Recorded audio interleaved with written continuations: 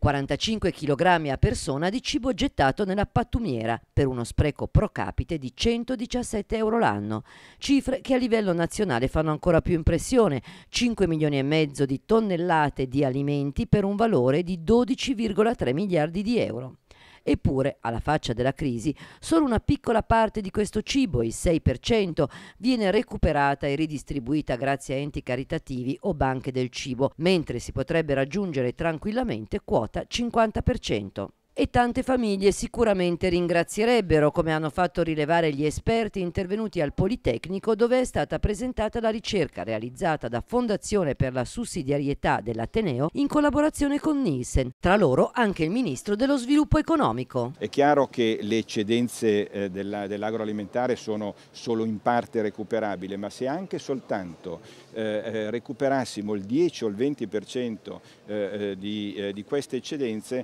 parleremmo di oltre un milione di tonnellate di cibo da far avere eh, a coloro che ne hanno bisogno. L'appello è quello per uno sforzo congiunto da parte di tutti, dalle imprese della filiera alimentare fino alle associazioni di volontari che si incaricano della ridistribuzione, iniziando da comportamenti virtuosi già in famiglia, dove gli sprechi di cibo spesso sono una pratica giornaliera.